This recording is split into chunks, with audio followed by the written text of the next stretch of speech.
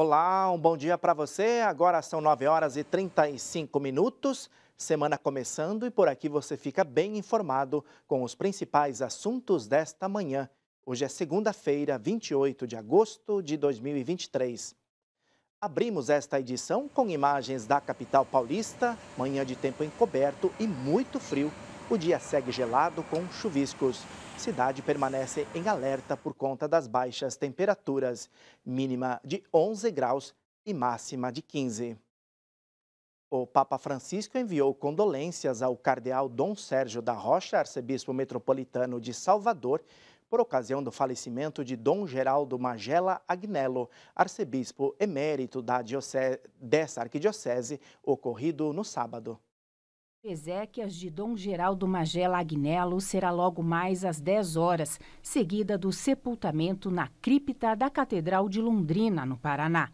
Dom Geraldo faleceu no sábado, aos 89 anos, após uma piora no estado de saúde decorrente de um acidente vascular cerebral sofrido em dezembro do ano passado.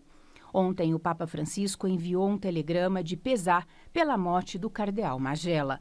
O documento dirigido ao cardeal Sérgio da Rocha, arcebispo de Salvador, o Santo Padre afirma ter recebido com profundo pesar a notícia do falecimento do religioso. O pontífice assegura sufrágios elevados ao Senhor pelo eterno repouso venerável prelado e manifesta que suas preces também são de gratidão a Deus pelos longos anos de seu serviço dedicado à Santa Mãe Igreja, sempre guiado pelo zelo apostólico nas várias missões que lhe foram confiadas. Ao final do telegrama, o Santo Padre envia ao Cardeal Sérgio da Rocha e a todos aqueles que se unem em oração pelo descanso eterno de Dom Geraldo Magela, sua bênção apostólica como penhor de consolação e esperança na vida eterna. E durante a oração do Ângelos deste domingo, o Papa Francisco disse que Jesus está vivo e nos acompanha nos momentos mais difíceis. O Santo Padre também expressou solidariedade às vítimas dos incêndios florestais na Grécia. O Papa iniciou sua reflexão relembrando a pergunta de Jesus no Evangelho deste domingo: E vós, quem dizeis que eu sou? Jesus não é um personagem do passado, afirmou Francisco. Ele quer ser um Deus próximo. O Santo Padre recordou ao longo da sua meditação a presença constante de Jesus na vida de seu povo. Ricordiamo questo: Jesus é vivo. Gesù ci vive nella Chiesa, vive nel mondo, Gesù ci accompagna, Gesù è al nostro fianco, ci offre la sua parola, ci offre la sua grazia, che illuminano e restaurano. Por fim, o Papa convidou os fiéis a não desanimarem e a olharem para Jesus que nos acolhe e nos ensina a ajudar os outros. In altre parole, per me, chi è Gesù? un grande personaggio, un punto di riferimento, un modello irraggiungibile? Oppure è il figlio di Dio che cammina a mio fianco, che può portarmi fino alla vetta santità, là, là dove da solo non riesco a arrivare? Ao final da oração, o Papa lembrou da sua viagem apostólica de cinco dias à Mongólia, que começa na próxima quinta-feira, e pediu orações pelas vítimas dos incêndios florestais na Grécia e pela Ucrânia. ed esprimo solidale vicinanza al popolo greco restiamo sempre vicini anche al popolo ucraino che soffre per la guerra e soffre tanto. Non dimentichiamo l'Ucraina. Aqui no Brasil, o orçamento de 2024 precisa ser entregue em três dias e Supremo Tribunal Federal define julgamento do marco temporal para quarta-feira. O Francisco Coelho atualiza essas informações para a gente direto de Brasília. Bom dia, Francisco. Bom dia, Sidney, a todos. O projeto de lei orçamentária anual deve ser apresentado ao Congresso até o dia 31 de agosto. A lei é a definição de gastos previstos para o governo federal no ano que vem. O Ministério da Fazenda adiou a entrega do projeto à espera da aprovação do novo marco fiscal. O ministro Fernando Haddad acredita que a aprovação da nova regra vai permitir a redução da dívida do governo federal já em 2024. A estimativa é zerar o déficit aproximado em 140 bilhões de reais. E o Supremo Tribunal Federal marcou para a próxima quarta-feira a retomada do julgamento do marco temporal das terras indígenas. O processo foi paralisado após um pedido do ministro André Mendonça.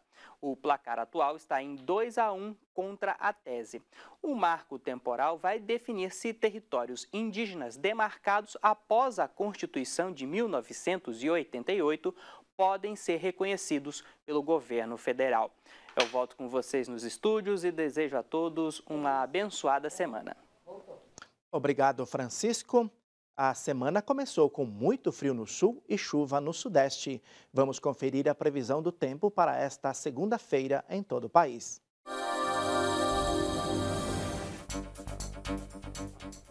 Faz frio no sul do país, com previsão de geada em Santa Catarina e Rio Grande do Sul. Muitas nuvens na faixa leste da região, mas sem previsão de chuva. No sudeste, chuva volumosa no Espírito Santo, Rio de Janeiro, no litoral norte paulista e no oeste de Minas Gerais. A garoa persiste no sul mineiro, no Vale do Paraíba e na região metropolitana de São Paulo. No centro-oeste, tempo firme no Mato Grosso do Sul, sul de Goiás e no sul de Mato Grosso. No Distrito Federal e no leste de Goiás, deve chover forte. Nas demais áreas, pancadas isoladas. No norte do país, tempo firme em grande parte de Rondônia, Amapá e no nordeste do Pará. Nas demais regiões, pancadas de chuva e trovoadas. Chove no sul do Maranhão e do Piauí e em grande parte da Bahia. Deve ter chuva fraca também entre Recife e Natal. Protestos na Líbia, política de Biden e eleições na Argentina estão entre os destaques internacionais de hoje. O declínio do kirchnerismo dá asas à oposição na Argentina. Essa é a manchete do El País. Uma derrota do partido que está no poder nas eleições gerais de outubro seria um golpe ainda mais duro do que o de 2015, quando Maurício Macri sucedeu Cristina Kirchner. Líbia suspende ministra das Relações Exteriores depois que uma reunião com Israel gerou protestos. Esse é o destaque do The Guardian. O líder do governo da Líbia suspendeu a ministra das Relações Internacionais depois de o governo israelense ter anunciado que havia conversado com ela na semana passada em Roma, apesar dos dois países não terem relações formais.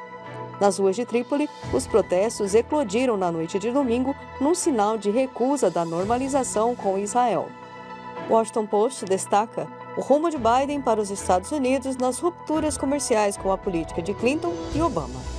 O presidente Biden está remodelando a abordagem dos Estados Unidos para se concentrar nas necessidades dos americanos como trabalhadores e não como consumidores, rompendo com 30 anos de política comercial. Ontem, a missão Canção Nova em São Paulo completou 26 anos de história. E um dos frutos desta missão é a Rádio América, que hoje completa 17 anos. A repórter Aline Mércio está nos estúdios da rádio, da Rádio América, e nos conta mais detalhes sobre a programação especial de hoje. Bom dia, Aline. Bom dia, Sidney, a todos que nos acompanham. Isso mesmo, Sidney, a gente está aqui no intervalo do programa Clube do Ouvinte. Nós vamos conversar com a Djanira Silva, que é diretora da Rádio América e também apresentadora. Bom dia, Djanira. De que forma a rádio evangeliza em São Paulo? Bom dia, Aline. Bom dia para você que nos acompanha. Que alegria estarmos juntos nesse dia celebrativo, né? Celebrando o aniversário da rádio. A Rádio Evangeliza em São Paulo, Aline, principalmente cumprindo o seu papel de informar, fazer companhia para o ouvinte e trazer, no caso da Rádio América, Canção Nova, uma palavra de ânimo, de esperança, um testemunho, trazer a palavra de Deus e proporcionar ao nosso ouvinte uma experiência pessoal com Jesus, que é a missão da Canção Nova. E a programação especial de hoje qual é? Olha, nós já estamos com programação especial, está acontecendo o programa Clube do Ouvinte Canção Nova Especial, com prêmios, com pergunta do dia, com participação do ouvinte, com oração. E o dia inteiro nós vamos viver essa dinâmica de especiais, com convidados e principalmente a interação do ouvinte. Está rolando também promoções aí nas redes sociais. E à noite, o ponto alto da nossa programação é a missa em ação de graças, que vai acontecer na Catedral Maronita Nossa Senhora do Líbano, às 19h30, também transmitida pela TV Canção Nova e a Rádio América, onde nós vamos com os locutores, os ouvintes, a família Canção Nova, dá graças a Deus pelos 17 anos da Rádio América com a Canção Nova. Muito obrigada, Janira. Essa missa que também celebra os 26 anos né, da missão de São Paulo da Canção Nova. Voltamos aos estúdios. Obrigado, Aline. Parabéns à Missão Canção Nova em São Paulo e também à Rádio América. O Boletim de Notícias termina aqui. Outras informações você confere no Canção Nova Notícias e também essa edição você pode rever lá no nosso site noticias.cançãonova.com. Eu fico por aqui, desejo a todos um bom início de semana, uma boa segunda-feira e siga ligado na programação da TV Canção Nova.